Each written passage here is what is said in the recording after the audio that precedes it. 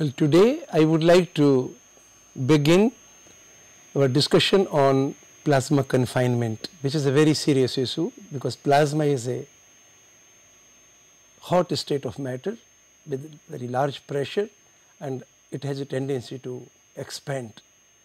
So, if you want to confine the plasma, you have to think of some non-traditional ways and in that context I would like to discuss single particle motion in a static magnetic field. Today we will consider uniform magnetic field and also if there is a transverse electric field present in the system, we would like to examine that also. So, basically we will be discussing what is the need for plasma, what are the needs for plasma confinement.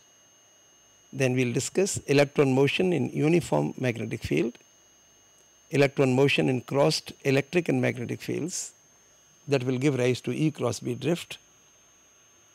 And then one of the major applications of this drift is in magnetically insulated diode. We shall learn what is this diode and then there is G cross B drift due to gravity gravitational field being perpendicular to magnetic field that also causes G cross B drift.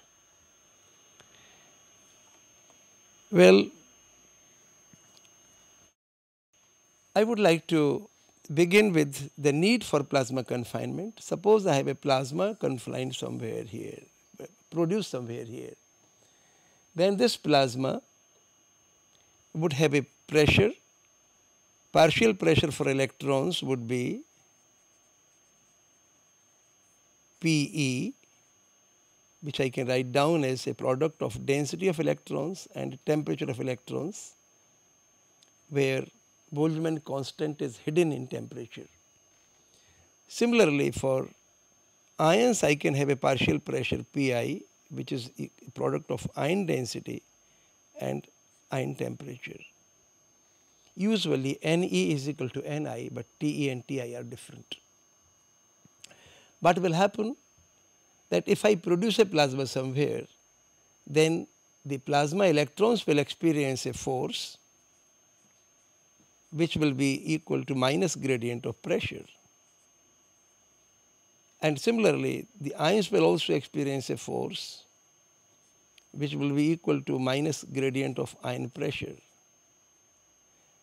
As a consequence of which the plasma will try to move electrons will go in these directions, ions will also follow them. So, where because pressure is higher here, less outside because plasma particles are not there. So, plasma will try to expand. If you want to stop this process of expansion, you should compensate for these forces and that is a serious issue. Before we delve into the issue of how to compensate for it, we would like to physically explore the possibilities that is it possible that by the application of a magnetic field can you stop the motion of plasma from high pressure region to low pressure region. The clue that we get from here uh, uh, uh from the particle motion in the magnetic field is that suppose I have a magnetic field somewhere a static magnetic field S Bs and if I have a fully ionized plasma, then if I leave an electron somewhere with some finite velocity, then it will try to move along the field lines like this. It rotates. So, the plasma is the electron is confined across the line of force. It cannot move perpendicular line of force too much. It will just gyrate about the line of force and but it can freely move along the line of force. So, at least a uniform magnetic field appears to provide a confinement for electrons in the transverse direction or in two dimensions, transverse dimensions, but it provides no confinement along the magnetic field if it is uniform. Similarly, for the ions, if you launch an ion, the ion motion will be in the anti-clockwise sense, we shall learn about it in a little while and this goes like this. This is ion motion in the magnetic field which is also localized about the line of force. So, at least in two dimensions, two transverse dimensions, you expect that the electrons and ions will be localized. Obviously, a central theme, central issue would be, is it to confine the particles along the field lines. One possible scenario is that you can have a closed line of force like this. This kind of line of force you can produce by having a current carrying wire here. Suppose there is a current carrying wire carrying current perpendicular to the plane of this in this direction away from the screen towards you. Then the line of force will be like this. So, it's curved line of force. Then naively one can visualize that if the electron is gyrating over the line of force like this, if it's going like this, then maybe it will keep on moving along the lines of force while you are the gyrating about the line of force and it will be coming back from here to here.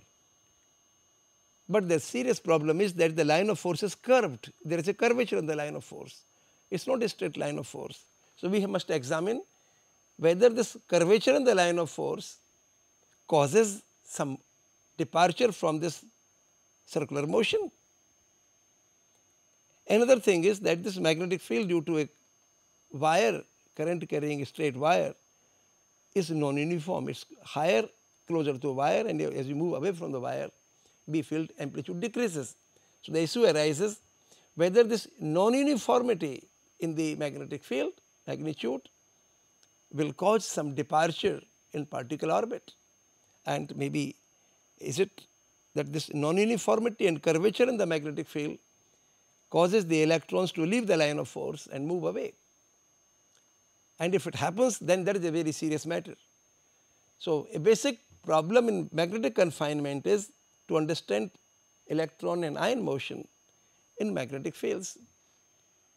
But before we take up the problem of electron motion or ion motion in non-uniform and curved magnetic fields, we must examine the particle motion in a uniform magnetic field in some detail.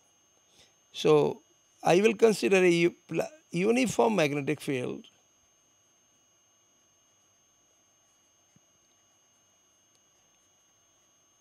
for the sake of specificness, I will choose the z axis to be parallel to magnetic field. So, I choose my static magnetic field along z direction. And let me characterize my electrons by charge minus E and mass small m these are for the electrons.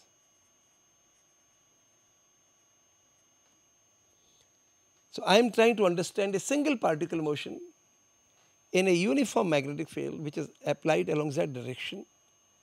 Charge of the electron is minus e and mass is m. Let us write down the equation of motion for the electron. Rate of change of momentum and m dv by dt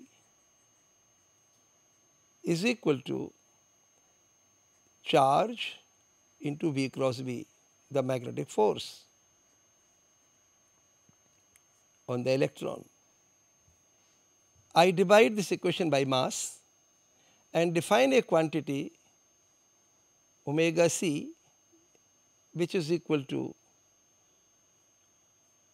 E B S magnitude upon m, I will call this quantity as omega c and we shall recognize that this is the frequency of rotation of electrons around the line of force. We shall learn this in a little while. So, let me cause this quantity EBS magnitude by m as omega c. Then this equation becomes on dividing by Vm dV by dt is equal to minus omega c into V cross Z cap because Bs is in the Z direction. Now let me write down the components of this equation. X component will give me dvx by dt is equal to minus omega c and x component of this which turns out to be equal to Vy. The y component of this equation will give me dvy upon dt is equal to omega c Vx. These two equations are coupled. Vx equation has Vy, Vy equation has Vx. However, you can decouple them by differentiating either of the two equations once with respect to time.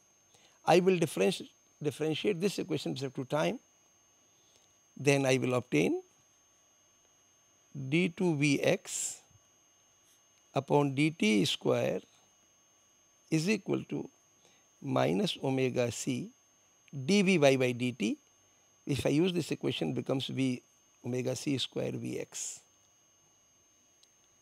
This is a equation vx itself and it resembles simple harmonic oscillator equation and it has a simple solution. The simple solution of this equation is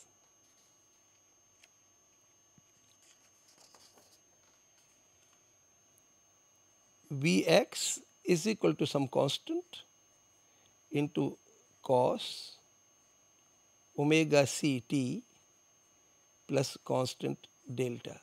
So, there are two constants of integration. It was a second order differential equation and hence will have in general two constants of motion A and a delta. They can take any values depending on the initial conditions. Delta can be taken to be 0 by proper choice of time. The origin of time where do you choose then you can take delta to be 0.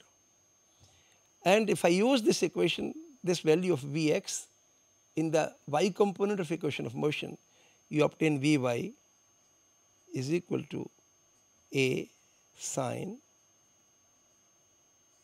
omega ct plus delta. One can do one thing in here, if you square and add these two components, you will find that Vx square plus Vy square is equal to A square and this is a constant of motion. And what are Vx square plus Vy square? Vx is the perpendicular component of velocity in the x direction and Vy is the component of velocity in the y direction. These two together when the square and added are denoted by a symbol v perp square and this is a constant of motion.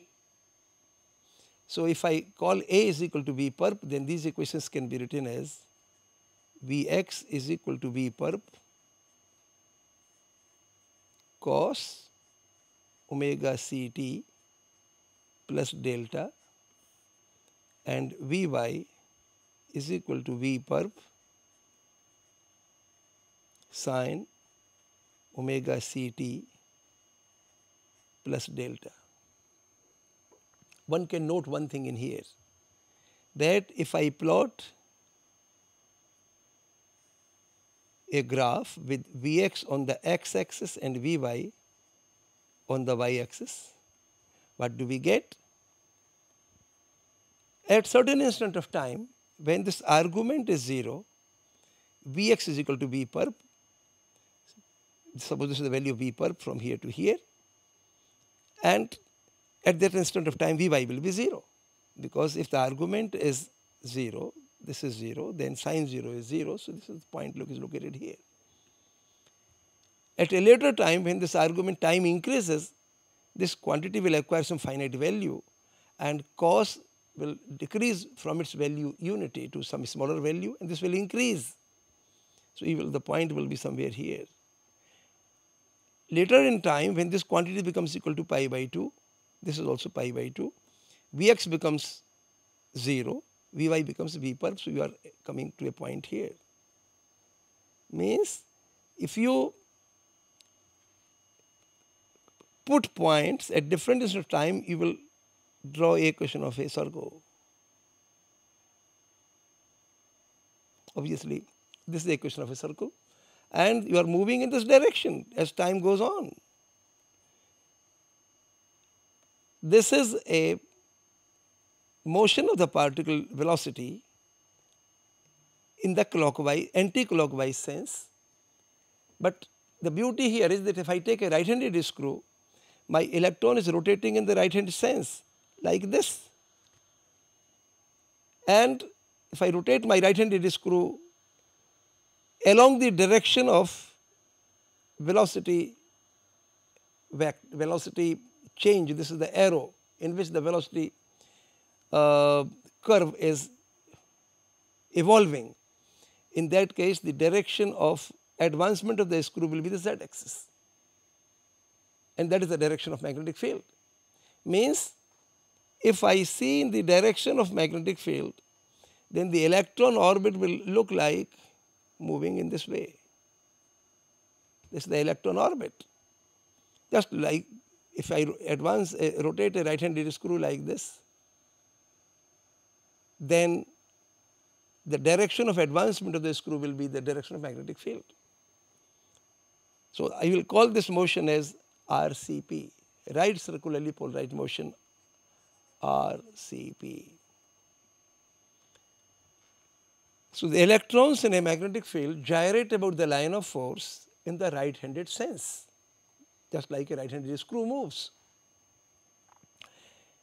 And how about the z component of equation of motion? Because the z component of equation of motion if you examine m dvz by dt which is equal to minus E V cross B S this is the force I want Z components since Bs is in the z direction this quantity is 0 this tells you that Vz is a constant of motion. So, let me write this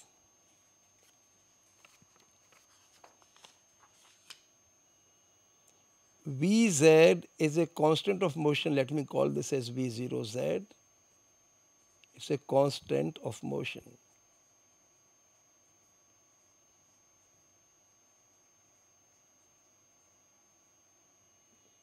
So, what we have learned that the electron velocity of the line of force is unaffected by the magnetic field, it remains as such forever and the transverse velocity magnitude wise remains constant, but its direction changes, it moves on a circular path in a circular manner. Now, I want to find out the actual trajectory, the x and y coordinates of the particle. To do that, I use this definition that dx by dt is equal to Vx particular velocity in the x direction and which was equal to V perp cos omega ct plus delta. And similarly dy by dt which was the y component of electron velocity equal to V perp sine omega c t plus delta. You can easily integrate this equa these equations. If I integrate this first equation, I will get x is equal to some constant of integration which I call x g plus v perp upon omega c sine omega c t plus delta and the second equation will give me y is equal to some constant of integration yg plus rather will be minus sorry let me remove this minus v perp upon omega c cos omega ct plus delta. There is a beauty in these equations. If I take x minus xg and y minus yg and square them and add, I will get x minus xg whole square plus y minus yg whole square is equal to v perp square by omega c square. This V perp please remember is the magnitude of perpendicular velocity where perpendicular refers to is with respect to magnetic field. This is a equation of a circle whose center is x g y g. Electron does not reach the center, but the electron's coordinates are x and y. So, if I plot a graph here, suppose x g y g being constant of motion could be anywhere, suppose this is here. I am plotting x here, y there. This is the equation of a circle like this. This is the equation of motion circle and the radius of the circle is I call as rho which is equal to V per by omega c. So, the electron will move in the clockwise in this anti-clockwise sense on this plane or this is called right circle in RCP way, right circular polarized way like this. It is a circle of radius rho which is the ratio of perpendicular velocity of the electron to omega c and it is called Larmor radius.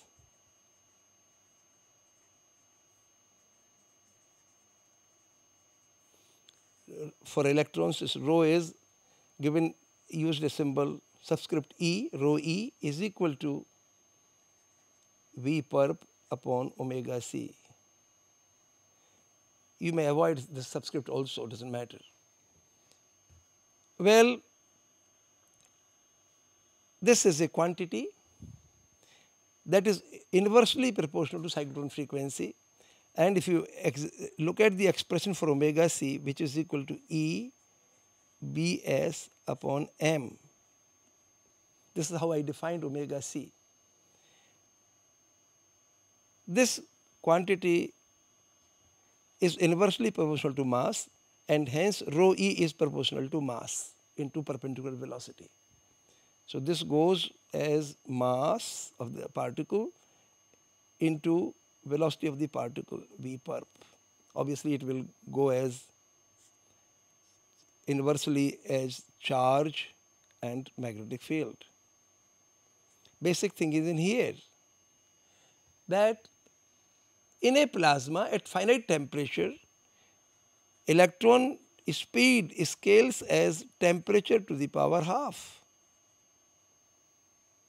And consequently, the Larmor radius rho scales as and this is proportional to m minus half also. Velocity scales as under root of temperature upon mass.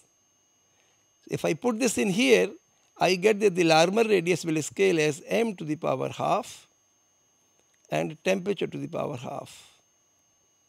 This is the scaling. This will have charge dependence on and magnetic field dependence as well, but as far as the dependence on mass is concerned, this goes like this. What I wanted to tell you is that if I had considered the ion motion, then the ion will also undergo a gyration about the lines of force but the Larmor radius will be much bigger because mass is bigger for ions. If the temperature and of ions and electrons are comparable, then ions will have a much larger Larmor radius. They will rotate over a very large circle and electrons if they are rotating on this small circle, ions will rotate over a very large circle and the rotation will be opposite sense. We shall learn about this in a little while. This is the ion motion, this is the electron motion. So, in a magnetic field, plasma electrons rotate in the right handed sense about the lines of force or about the magnetic field and ions rotate in the left handed sense a much larger Larmor radius. And a word about omega c, why it is called the cyclotron frequency. If you look at the expression for x that we had written like x g plus rho sine omega c t plus delta and y is equal to y g minus rho cos omega c t plus delta. these are the coordinates of an electron that are evolving with time.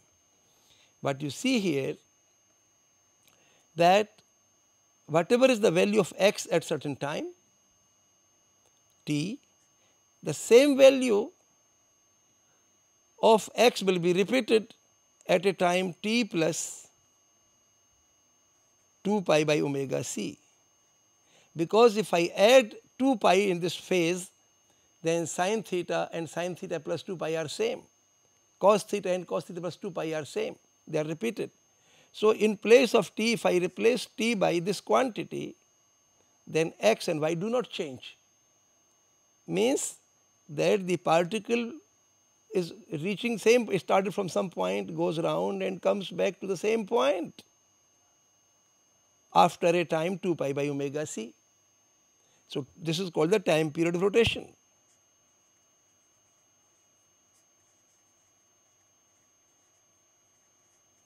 of rotation of electron t is equal to 2 pi upon omega c inverse of this period is called frequency in Hertz. So, frequency of rotation in Hertz is equal to 1 upon T and this can be written as omega c upon 2 pi it is in Hertz cycles uh, radian uh, sorry cycles per second. And if I want to put in radian per second then the frequency of rotation in radian per second is omega c which is equal to 2 pi by into f. Frequency of rotation in of gyration rather in radian per second. And it is useful to have some estimate of this magnetic field. So, uh, this cyclotron frequency omega c which is equal to E B S upon m. If I choose Bs is equal to 1 Tesla which is a unit of magnetic field in MK system of units and 1 Tesla is 10 to the power 4 Gauss. Gauss is a unit of magnetic field in CGS systems. So, if I choose Bs as 1 Tesla, omega c turns out to be electron charge is 1.6 into 10 to the minus 19 coulomb. Bs I choose 1. Mass of the electron is 9.1, 10 to the minus 31 kilogram. Then this is radian per second which is of the order of if I choose this something like 10 then this becomes 30. So 10 if I take here then this becomes 30, 30 when goes up becomes 11, 11 so this becomes typically 1 point maybe 7, 1.7 into 10 to the power 11 radian per second. If you divide this by 2 pi you will get in Hertz 2 pi is like 6. This turns out to be like 3 typically of the order of 3. 3 30 gigahertz. So when I divide this by 2 pi which is I take like 6 then 1.7 divided by 6 is like 0.3 into 10 to 11. If I put in terms of gigahertz, giga means 10 to the power 9 hertz, then this is like 30 gigahertz. So, a very interesting estimate for omega c is at 1 Tesla the cyclotron frequency of electrons is 30 gigahertz. Now, when you are trying to heat a plasma by using electromagnetic waves via cyclotron resonance heating, then you would like to match the frequency of the wave to electron cyclotron frequency and then you should be choosing waves of frequencies around 30 gigahertz if the plasma has a magnetic field of about 1 Tesla. If the plasma wave has a magnetic, if the plasma has a magnetic field of about 10 Tesla like a large tokamak has, then you should be aiming at wave frequency about 300 gigahertz. So, that is a, a thing that you must keep in view that what kind of waves are required if you want to employ electron cyclotron resonance heating of plasma. So, omega c is an important parameter. Well, a word about the ion motion. The ion motion is governed by this equation mass of the ion into dV by dt for the ion. Charge of the ion is plus E not minus E and V cross Bs. This V is the ion velocity you can put a subscript I or may not subscript does not matter. The important difference is the charge sign. So, here I define omega c i as the magnitude of this charge of the ion if it is singly ionized into Bs upon Mi.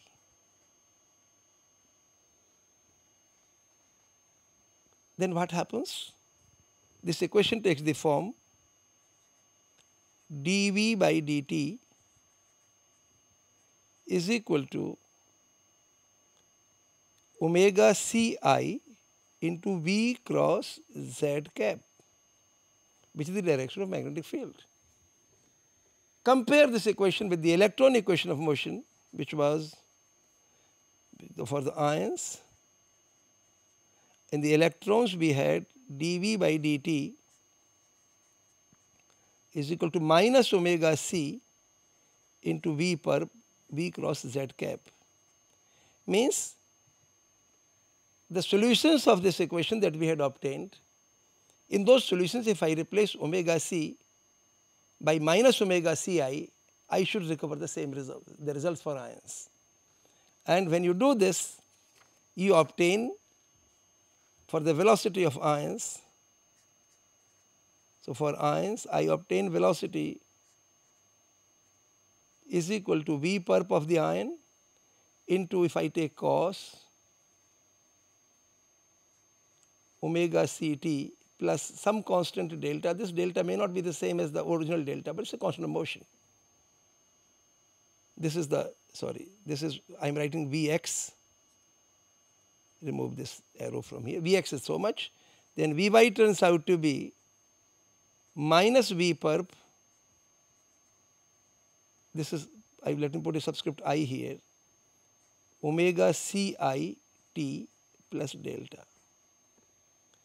So, ions have a cyclotron frequency much less than the electron cyclotron frequency and the sense of rotation is also different. If I plot a graph here with Vx on the x axis for the ions and Vy on the y axis, then the elect ion suppose initially this argument is 0, Vx is equal to V per PVI is 0, but later on at subsequent times this point will move the locus will move on a circle in this way. So, it will go in this sense, in this clockwise sense. Electron was in the anti-clockwise sense. So, the rotation of ions is different. Similarly, if you write down the x coordinate, it will be xg and then it was plus V perp upon omega Ci, it was, if I write this cos, just a second, let me see. If I put this dx by dt, then this turns out to be so much into cos, sorry, it's become sine. Omega Cit plus delta and y is equal to yg plus v perp upon omega ci cos omega ci t plus delta. So, if I plot x here, x coordinate of the ion here and y coordinate here, this is my point xg called the guiding center and then the ion rotation will be like this. The radius of rotation would be rho i and rho i I will define as the ion perpendicular velocity upon omega c i. This quantity will scale as because mass of the ion into perpendicular velocity of the ion obviously upon charge of the ion magnitude into Bs. This is exactly equal. And if I consider my plasma to be Maxwellian, then V perp is related to ion temperature and ion mass. So, this scale says mass to the power half and ion temperature to the power half. So, ion Larmor certainly is very large. So, there are two important differences in electron motion and ion motion. Ion cyclotron frequency is very low because omega c i depends on ion mass inversely. So, if you want to heat ions by using ion cyclotron resonance by electromagnetic waves, then you need waves of much lower frequencies. That is a very important thing because ion mass is even for a proton plasma if you have is about 2000 times bigger omega mi is 2000 bigger than the electron mass. So, you require a wave frequency 2000 times smaller. If you are having a deuterium tritium plasma then you are having two kinds of ions with their cyclotron frequencies obviously different omega c for deuterium is different than omega c for tritium and they are 4000 or 6000 times smaller than the electron cyclotron frequency. So, whenever you aim at heating the ions you should aim at having electromagnetic waves or electrostatic waves of frequencies close to omega Ci. Second thing is that the ion Larmor radius is much bigger than the electron Larmor radius. Well, this is primarily the motion in a uniform magnetic field which is unbounded in the z direction. So, z dz by dt if I write down it is equal to Vz which is a constant equal to V0z that we had seen and if you integrate this gives you z is equal to some constant initial value of z coordinate of the particle plus V0zt. So, the particle will keep on moving in the z direction whereas will start keep on rotating about the guiding center. So, in the xy plane the particle motion is a circle whereas it has to move in the z direction. So, if I have a line of force like this then the electron which is if it, it has no velocity v0 z velocity then it will oscillate, rotate in a circle but because of this z this will keep on moving like this. This is how it will move. This is the electron motion. Ion motion will be of this form.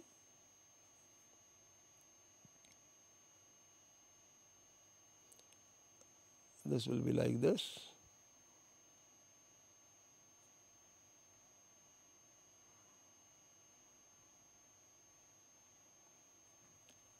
Well, the ion will be moving slower than the electron but the ion Larmor radius will be much bigger. I have by mistake I have drawn this to be of same comparable size, but the electron Larmor radius is much smaller than the ion Larmor radius maybe 50 times or 100 times this is smaller than this radius from here to here. This is called Larmor radius rho i, Larmor radius here is rho e, electron Larmor radius. Ions move with a larger Larmor radius. Well, when we encounter magnetic fields which are curved or inhomogeneous, then the motion of equation of motion becomes difficult to solve. However, if we understand the particle motion in crossed field means suppose there is a magnetic field along z direction and if you apply an electric field or gravitational field or any other force perpendicular to magnetic field and if you can understand the dynamics of electron or ion in these two fields then based on our understanding of this problem we can understand the particle motion in curved and inhomogeneous magnetic fields very easily. So, before I delve into the particle motion in curved fields, curved magnetic fields, I would like to consider the case when there is an electric field in the system, suppose it is parallel to x axis and there is a magnetic field in the system which is in the z direction. These are called crossed electric and magnetic fields.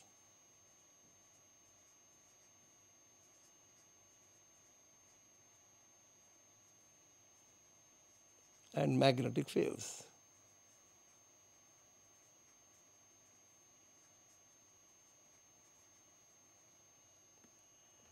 I would like to delve into this problem. Both I will consider to be electro to be static, independent of time and uniform. Equation of motion for electrons I will write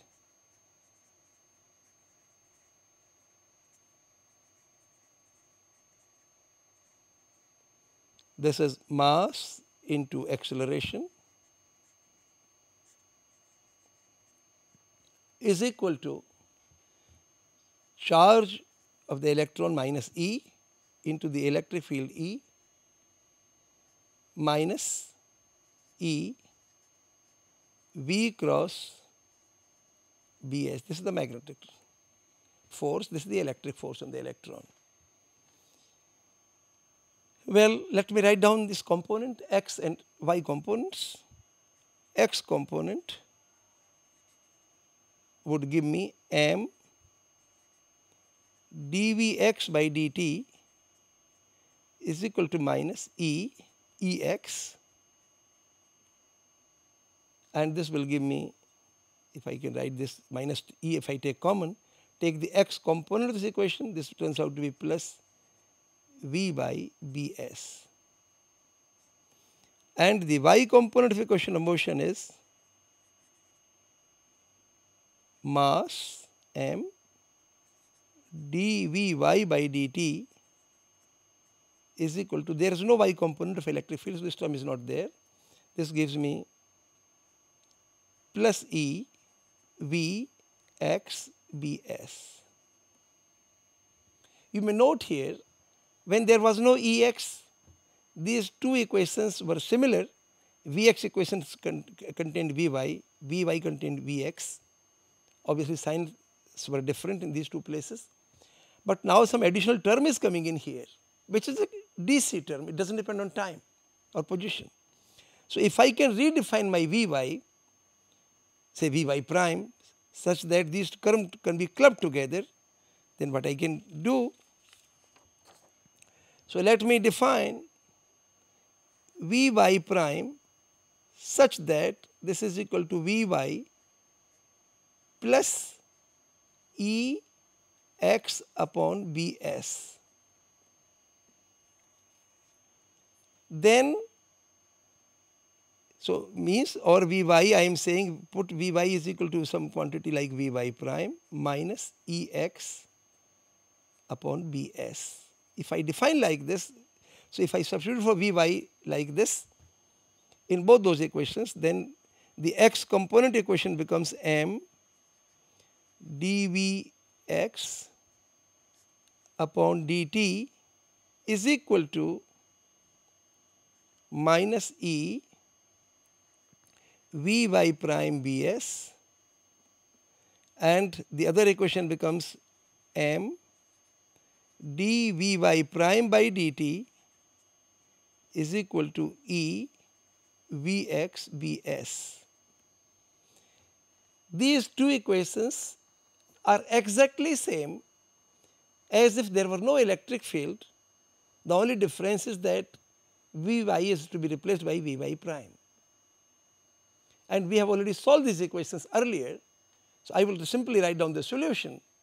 The solution turns out to be V x is equal to some constant a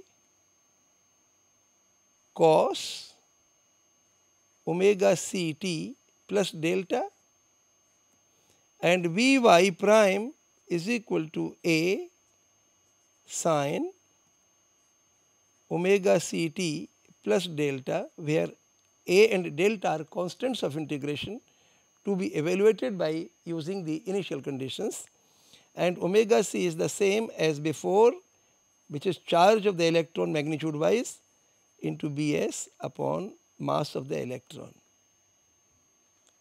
Now Vy prime is really not the y component of velocity, actual velocity is Vy. So I should use this Vy prime in this equation, then my Vy becomes So your Vy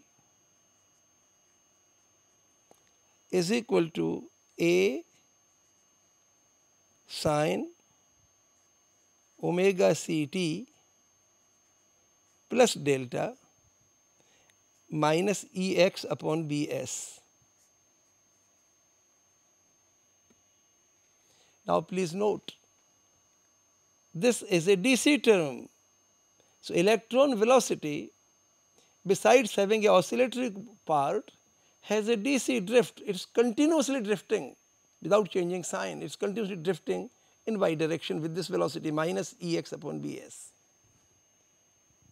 And if your electric field is in the x direction, magnetic field is in the z direction, this is your Bs and this is your Ex field,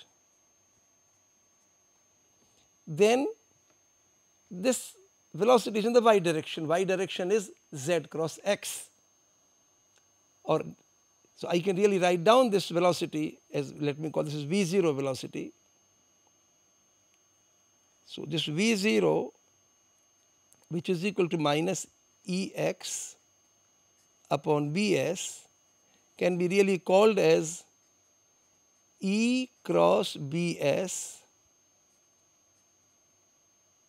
upon Bs square because x cross z is minus y. So, this is the same thing and I am writing the y component this quantity. Actually, there is only y component finite. So, what we are really getting that the presence of a transverse electric field in the system gives rise to a drift DC drift to particles and vector wise if I have to write simply then the electrons will acquire a drift V0 which is equal to E cross Bs upon Bs square. Please note this drift is independent of mass and independent of charge. Whether they are the electrons or ions, they will move in the same direction with the same DC drift. So, if you have a plasma somewhere placed somewhere here magnetic field is here and if there is an electric field that you apply in the transverse direction, then besides having the cyclotron motion about the field lines, the plasma electrons will drift in the direction perpendicular to E and B both. If my electric field is here, then the plasma electrons though they will be gyrating with the line of force like this, but then they will be lifting themselves up. And this is a constant velocity. So, what kind of trajectories I expect? The electrons were suppose I think it will be better if I plot z axis here and y axis is here, y axis there. Then in the xy plane it will be xz, yz plane it will be better to plot. My electric field is in the x direction and y cross z is in the x. So, this is into the plane of this board, into the board. That is my direction of electric field. So, normally I would expect that the electrons they will be having a minus z velocity and if they have a v0 z also finite then they will move in z direction also. So, they will be moving away. If electric field were not there in the yz plane what will happen? The electron this is my x direction electron will be gyrating in the xy plane like this like this actually in this way electron will be gyrating like this. So, y will be moving like this but now besides that they will be moving in this direction because of v0 z velocity and v0 y velocity. So, the electrons are gyrating away. Uh, I could have plotted in the x y plane also. What will happen in the x y plane? Suppose this is my x direction, y direction. The electrons are gyrating about the line of force in this way, in this fashion. But as they go down, they will go down like this. This is what happens. So the electron is traveling actually with large, this radius remains the same. This is a wrong picture. This, these are not smaller radii. So the electrons are moving away from the line of force. This line of line of force actually is this one. Magnetic field is in z direction perpendicular to the plane of this board. So they, they are moving like, like this perpendicular direction. So E cross B drift takes electrons away from the line of force which is a very serious matter.